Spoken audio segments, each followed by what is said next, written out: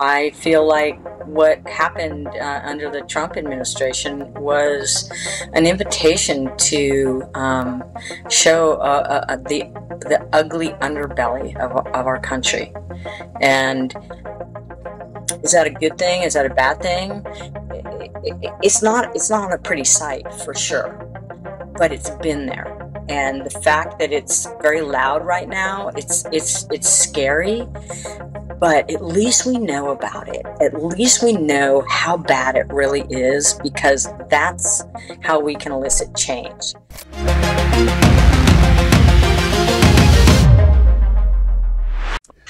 Well, I have repeatedly told the story that at Disney Gay Days week in June, some of my favorite parties don't tell anybody, but they've been the girls in Wonderland parties. I love the oh, enthusiasm. oh, enthusiasm, uh, really, the authentic, pure joy that uh, the participants at the girls' parties at uh, Gay Days represents is amazing.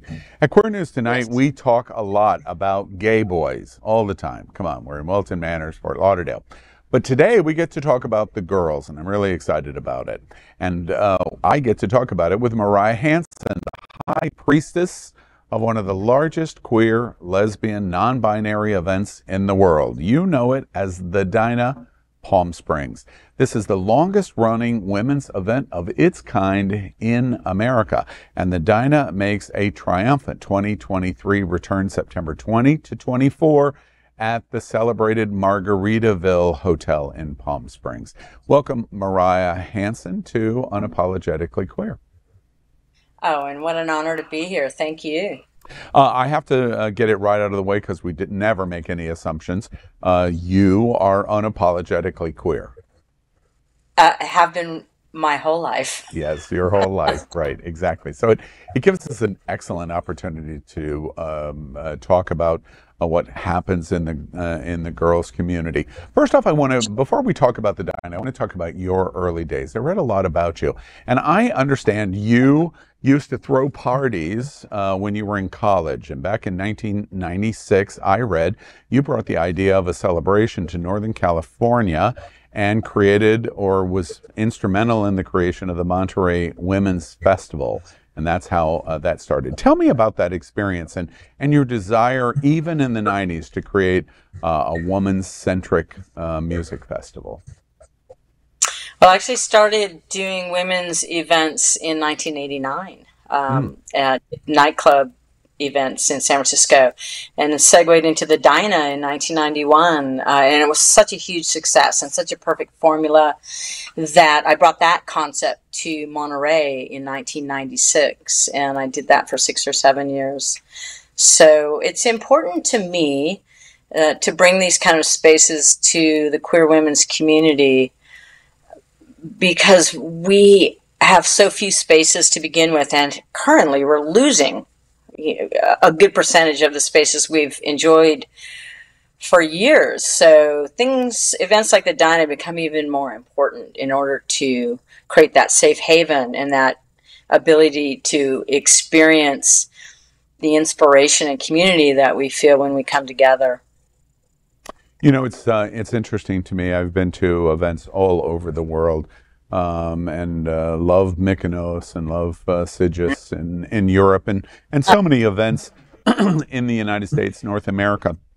For women's events, uh, promoters of women's events are not nearly as common in LGBTQ yes. community. Yes. Um, you're a promoter, and so for our audience that are going, well, um, kind of trying to figure out who Mariah is. That's essentially, am I getting a term that applies to you correctly? You're a promoter, but it's of queer women events. Is that right? I, did, I mean, it, it's a shared title. So I, I, was a promoter for a good deal of my career where I was promoting women's events in other venues. Um, but I'm also a producer. So I'm producing a large scale event and I'm responsible for uh, every aspect of that production. And you have a brand, uh, which I, I'm, I'm sorry, go ahead. I didn't mean to interrupt. There's just a nuanced difference. Uh, well, and and actually, yeah. that's what I was going to ask you. The nuance between, and I love that, by the way. Uh, no, no, no. I'm a producer. I, am not a promoter. I'm a producer. I love that. Well, I, I, I'm a I'm a promoter too, but a promoters promoters can be a standalone, and you can also have wear the promoter hat under the umbrella of being a producer.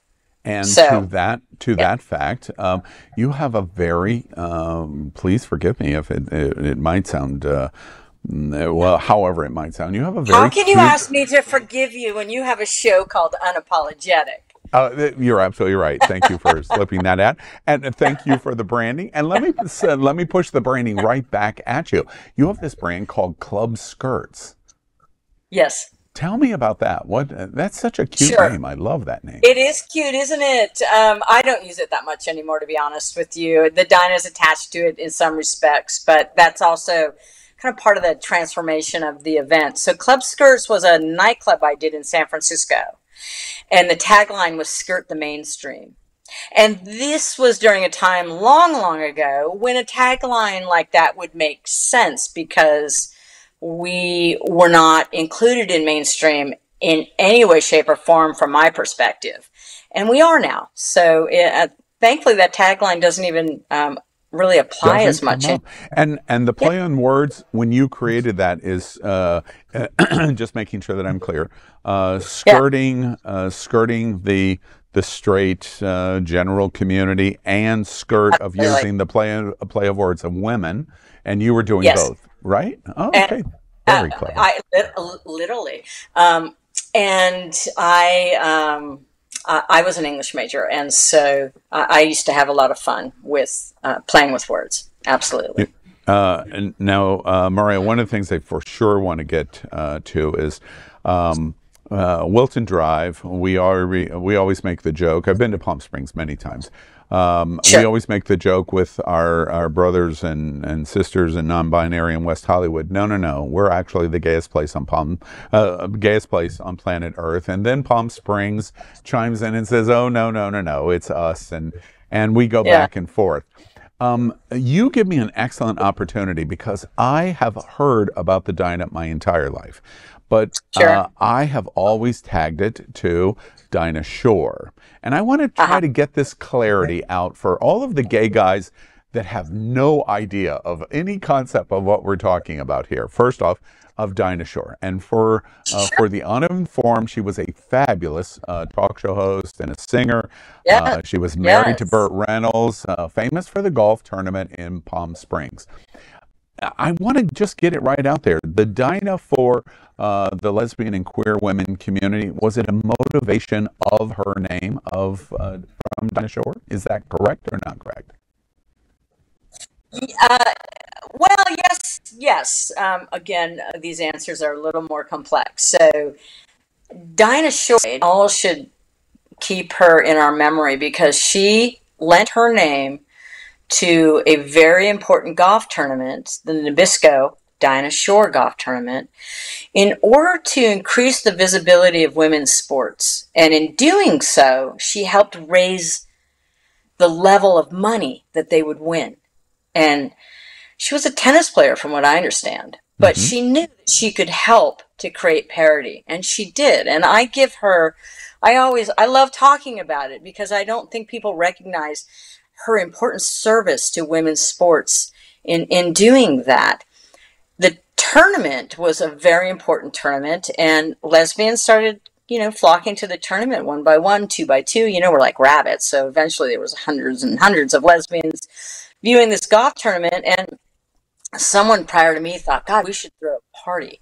And so there started parties started cropping up around the tournament. I came in 1991 with a very different concept of not just a party, but a weekend experience where we were creating our own Dinah world. And I took hotels over 100% rather than 50 rooms here, 25 rooms there. And, um, and there was a lot of risk to that at the time, but I mm-hmm. felt like all the ingredients were there to make this happen and it did. So, um, so yes, it's, it's, it's in homage to Dinah Shore and in recognition of all that she had done in her lifetime to help raise the visibility of women in sports. You know, I, I want to ask you, and in this excellent opportunity to uh, talk uh, to uh, the creator of the Dinah, I repeatedly heard uh, for decades uh, this comment uh, among gay men that the assumption was Dinah Shore was a lesbian, and that was the connection to the party. But actually, that's not true, is it?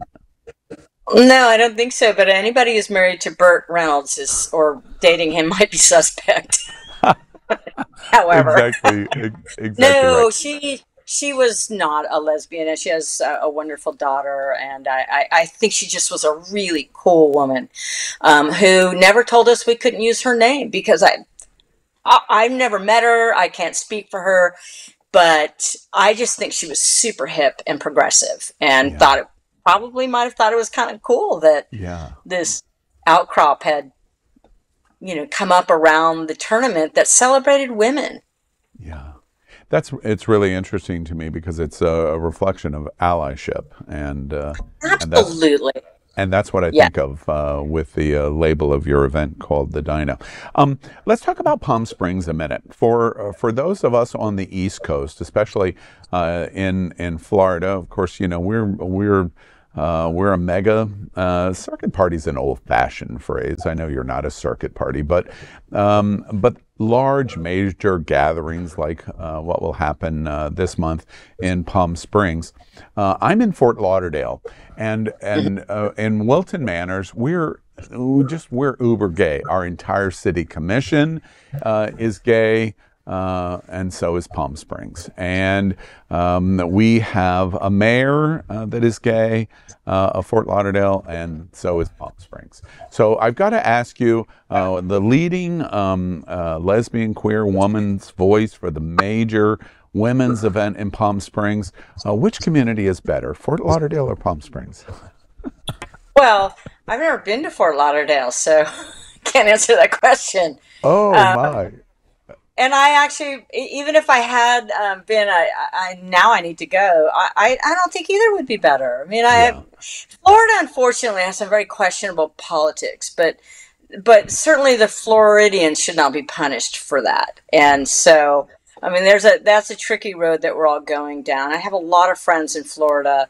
Um, I've been to Miami several times. Um, and I, I, mean, I just think it's a wonderful, wonderful uh, area that needs a little bit of, of vibrational rising in terms of, of politics, but Florida's gorgeous. It's wonderful. So I'm not going, I wouldn't tell you any place is better than another. I would tell you that each place has its own charm and attraction and that we need to go wherever we go and really dive into whatever that place calls to you. Yeah. So I'd say they're equal. You know, another uh, thing. Yeah, unapologetically. Uh, you know, another thing is interesting to me about the Dinah and being in Palm Springs. Jeffrey Sanker created a, a world-renowned yeah. event uh, of Absolutely. the of the White Party, and and I just think it's interesting in a city the size of Palm Springs um, obviously an uber LGBTQ uh, and embracing uh, and allied community. It's interesting that one of the biggest boy events in the world is in Palm Springs and the biggest women's event is in the same place. What is it about Palm Springs that attracts the the diversity of uh, we're something for everyone? What do you think it is about Palm Springs? Um, I'm going to tell you that I think that its proximity to uh, Los Angeles is is probably a very uh, uh, strong point for how easily it's become such a important destination because we get a lot of celebrities at the event, and it's because it's a two-hour drive.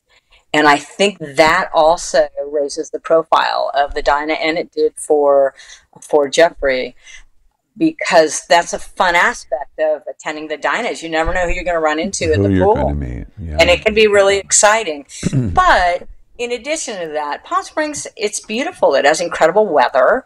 Uh, it's a resort town, so it is catering predominantly to visitors, and that's a nice aspect to throwing an event in a town like that because you know that wherever your customers are, whether they're with you or out eating dinner somewhere, they're being well taken care of and they're welcomed.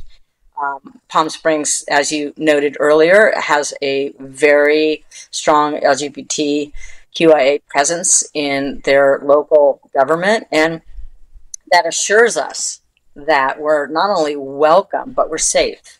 Yeah. And I think today that's more important than ever. Yeah, absolutely. Certainly uh, here in Florida and many other places around the country. Let's talk about women's, uh, lesbian and queer women's events specifically. Another thing that fascinates me about um, the success uh, historically of the Dinah, of course, you went through a pandemic like everyone else, uh, went into pause like everyone else. But, but sure. it seemed like um, uh, the men's events in our community bounce back faster. They're they're um, they're they're so much more plentiful in terms of choice in America. What is it um, about what from your eye and and really you're an expert eye of lesbian and queer events. We've reported for example we do queer news tonight every night at eight o'clock and and have for for three years. We've reported repeatedly about what we see going on in the lesbian community. You've already referenced it in in our conversation. We've reported there are only 26 lesbian bars and major spaces left in all of america what do you think is happening in in uh, the lesbian and queer uh, women's community in America? Why is this happening, and and uh, what are your thoughts about what you're seeing? Well, I, I think first off that there have never been uh, a, uh, a huge amount of lesbian or queer women identified spaces. Is long, you know, I've been queer for five decades, four decades, and it, there just hasn't been a lot. And I think there's very nuanced cultural differences between um, how men play and how women play. And I think that um, that that reflects in our spaces because women tend to, um, and I'm really stereotyping, but they tend to nest more. So they'll meet they might meet in a bar, they might meet in a nightclub, but they fall in love and they stop going out to the bar and the nightclub. I, I think men might still enjoy that whole play aspect in a way that I think women don't. But I will also say, in men's defense, that the longest relationships that that I know of are with gay men. So that kind of stereotype of it doesn't always hold true. I just think I think generally it's the best argument that I can come up with for you right now. But I, I do think there's there's there's a kernel of truth to it that we just don't we don't party in the same way. All right. Are you are you uh, confident? Uh, are you optimistic uh, that this may change, or do you think the trend that we've watched over this last number of years is going to continue for for the L of LGBTQ? As far as women's spaces. Yeah. Yes. I'm actually I'm I'm hopeful, and here's why. I think that there's also the complication of that we're much more comfortable in mainstream spaces. So um, that makes us feel like we can go out to a straight bar, we can go out to a straight restaurant, meet all of our friends there. We don't necessarily need to go to a LGBTQIA identified destination. However, I also think that we have our own culture. And I also think that our culture and our lifestyles are uh, under assault again.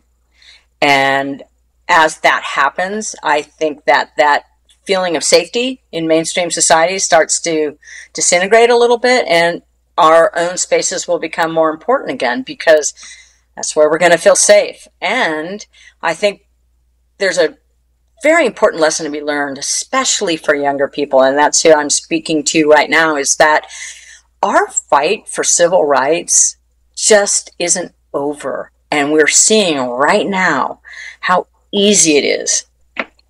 Easy to take away women's rights, to take away LGBTQIA rights. Our, our right to marriage was subtly uh, threatened by one of our Supreme Court justices.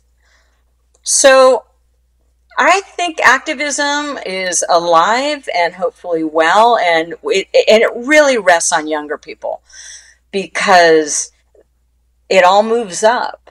And so I, I know that younger people are very passionate, but as easy as it looks in major metropolitan areas to be out and mainstream and feel comfortable, it's an illusion. Yeah. We it's have to think of our entire community. It's interesting in conversation. Um, um, in the past, I you know I was I've, I've been involved in a number of, um, of major events. Uh, Sanker um, uh, remarked to me on on multiple occasions that he viewed what he was doing there and in, in Puerto Vallarta as a symbol of activism. That it was an it was a opportunity for community to come together and be activists for our community, and then take that to places all over their state or all over America, or really all over the world. Um, tell us a, a, a little bit uh, as you make that connection of the activism. Tell us about uh, the Dinah, and and for those for uh, those that have not uh, been to it, and those that may not be as aware of it as they should, kind of help walk us through. First off, uh, Margaritaville. To, for for those that might not know, tell us a little bit about uh, what a hotel like that hosting this big mammoth event would be like. I love the space. It used to be the old Riviera, and so it's this glamorous old Hollywood style hotel in Palm Springs. I've worked out of it over my 32 year career in Palm Springs for about a third of it. So the space itself lends itself perfectly to the Dinah. Margaritaville has um, their management is wonderful. Uh, there's a lot of LGBTQIA people working at the hotel and in uh, management positions. And so we have that kind of support. You can't be in Palm Springs no matter what flag uh, your hotel is raising and not be deeply connected to the LGBTQIA community because we have such a strong presence in that city. But Margaritaville uh, has been a great friend to us, and their their new manager is incredible. We're so excited to be working with them because they get it. They're a legacy event in Palm Springs um, by the city, so they realize the importance of earmarking certain events that represent diversity, inclusivity, women, uh, any kind of a fringe. You know, they they they want to recognize that as something that the city not only welcomes but encourages and is very proud to have. So, mm. uh, when you're working under those kind of uh, conditions, it, it just really lends itself perfectly for an event like the Dinah. Uh, Margaritaville itself is just, um, you know, it, it, it's it's got a huge convention ballroom that Elvis Presley has played at. You know, the Rat Pack. I mean, it's got lots of, of old Hollywood history, um, and then it's got this pool area that's just perfect for what we do. So we're really happy to be there. You know, uh, so you have to have the the right address, uh, which is clear yes, uh, at, at Margaritaville. You do now. Um, uh, tell us about uh, some of the things that you do for the extended long weekend. What uh, what are the parties like, and who performs? And sure, sure, sure. We're the Dinah's become very famous in the music industry for picking the the next big thing in talent. So we've had some pretty uh, triple A list names on our stage over the years, from Katy Perry and Lady Gaga to you know uh, uh, Jessie Reyez, um, Pat Benatar, Chaka Khan, um, uh, you know, and on and on, uh, baby. It's been uh, a really wonderful experience inviting these artists onto our, our, stage and having them say yes and then watching them take off. So that's been fun. Um, uh, yeah. Entertainment uh, this year. Sorry, yeah, so this year is Princess no- Thank you. Princess Nokia, um, Doechii, G Flip, um, Fem, Black Box. And then I have two new artists that we just gave a chance to Kiana Key and uh, Xana that we think are, are artists that should be signed. And so we wanted to give them exposure on a major stage. You know, I uh, I, I start uh, my conversation with you uh, with a point that I've made. I do uh, Queer News tonight, and it's happening out uh, with a broadcast partner, very noted, famous lesbian Faye What here in South Florida. And she invited me last year, of all of the years that I had been to Gay Days or OMW, for decades. I had never been to uh, the girls' party, and Alison Burgess and Pandora. Aqua, Aqua Girl that they had produced yeah. for years. Uh, went to Girls in Wonderland, and I went to uh, the Saturday afternoon pool party, and and I was old and jaded at gay days. I knew everything about everything about everything, and I went into this event and. It was breathtakingly stunning how much fun and joy uh, yeah. was going on at the event. And and I went back this year, and I went to two parties uh, this year. Ooh. What what is it about uh, the women? Uh, you know, from my gay eye, gay community eye, um, when we don't see women quite as visible, certainly not as visible as we see the the gay guys. When they get together at an event like yours, how do you explain the joy that seems to explode when you when you offer an event like the the Dinah for women? I think for women, it is just as much about um, creating community as it is about music and um, parties, but it, it's about actually being together with community and and that feminine energy that that that just is explosive at events like this. All that estrogen is just it's pretty powerful. But community is really important. It's not it's not necessarily about meeting your next love. It's about being together and celebrating our lives together and living out loud and being inspired by each other and meeting other women from all over the world. So there's that aspect to it that's very powerful, and that's where the joy is created. You know, I would I would imagine uh, you'd be very proud of this observation. One of the things that was the most shocking after how much jubilance I was watching was how uh, accepted uh, and accepting my presence was. Um, Alison uh, brought me up on the stage and introduced me, and and awesome. Uh, and through the entire event and uh, around uh, the pool event, people were so kind, and it's like you know. And yeah. I was a little, I was a little. Uh, I wonder if I'm invading a space that I shouldn't be in, in, in pushing in on. And exactly the opposite was the yeah. result. That was breathtaking. What do you think about that in terms of how um, uh, lesbian and queer women and and gay men? Uh, maybe we have this kind of stereotype that we we can't uh, we can't party and play together, but we actually can. I think two things. I think Alison and yes, they do an incredible job. I think that it's the promoter's job or the producer's job to create a vibe that gets kind of instilled with each guest that enters. And I think they they get it in, in a way that not as many producers and promoters do it's really important to be inclusive. And and if we're asking for tolerance we have to be tolerant. It's just such a no-brainer. Um, so there, my event is predominantly queer identified women but there are men there. And our stance has always been if that bothers you this probably isn't the event for you. Mm-hmm. because we're about joy. We're not about getting uh, prickly about um, who's there. We're about embracing who's there and celebrating that we're all together. The common theme is celebrating our our our femaleness. But that doesn't mean that someone like you can come and not join in and go, yeah, and learn something and experience a community that's beautiful. So I I I think that's really critical to the success of events is tolerance and inclusivity.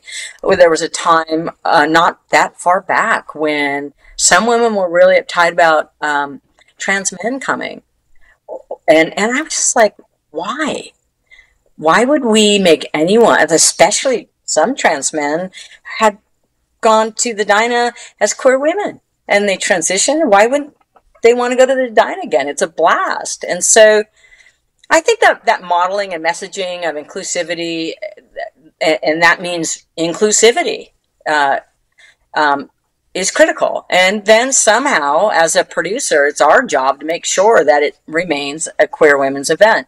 Yeah, it's so. Do men and women do do men and women um, uh, party together? I, I think that's another nuanced area because they're doing different things. So like you can get um, you can get uh, in a in a large guys event um, and you know and it's you know minimal clothes and dancing and sweating and just you know it's got this different feel to it and then you would get you know if you mixed half that group with women they'd be like uh, they're not you know they're not it's just not the same um, experience right? You know they're not they're not necessarily doing that. And i think that that is probably why it it's not because we don't love each other and we do. Um, uh, but it's because we kind of do that differently. Yeah, and definitely. if and, and so the women that like that or love men's events that just like you know the clothes off and you know just the um, the rawness of it and um, and the men that like that community and that just feel good um, you know they're at the Dinah so um, you know it, it, all works in the end but I don't know that we would be um, mixing 50-50 I, I just think those nuances that um, right. Heard might get in the way. Understood. Mariah, I want to uh, finish up and, and ask you, uh, you've touched on it a little, but I want to uh, draw a, a, clear point to it. Uh, sure. I understand uh, you served two terms on the board of Equality California. Equality, Calif- Equality California, in my opinion, Equality California and Equality Florida are the two um, preeminent uh, equality state organizations in America. Amazing things come out of both uh, organizations. Um, so, having those two terms as a board member, you really do have an expert eye, especially for lesbian and queer women representation. Uh, from your eye and your longevity of what you have done in in uh, producing uh, events like the Dinah. From your eye, what do you think is going on? You've said, you know, we're, it seems like we're refighting this all again. What, what does your eye tell you that we're watching? Maybe something that, that a lot of LGBT listening to your voice uh, that are confused or scared, they don't understand. Uh, what, what, do you, what do you see as happening? Um, I mean, you know, it's a political question. I'm going to give you a political answer. I feel like what happened uh, under the Trump administration was an invitation to um, show uh, uh, uh, the the ugly underbelly of, of our country. And is that a good thing? Is that a bad thing? It's not. It's not a pretty sight for sure, but it's been there. And the fact that it's very loud right now, it's it's it's scary but at least we know about it. At least we know how bad it really is because that's how we can elicit change. You can't change things you don't know about. You can only change things you know about. But I don't think the way to change it is to meet it at its level.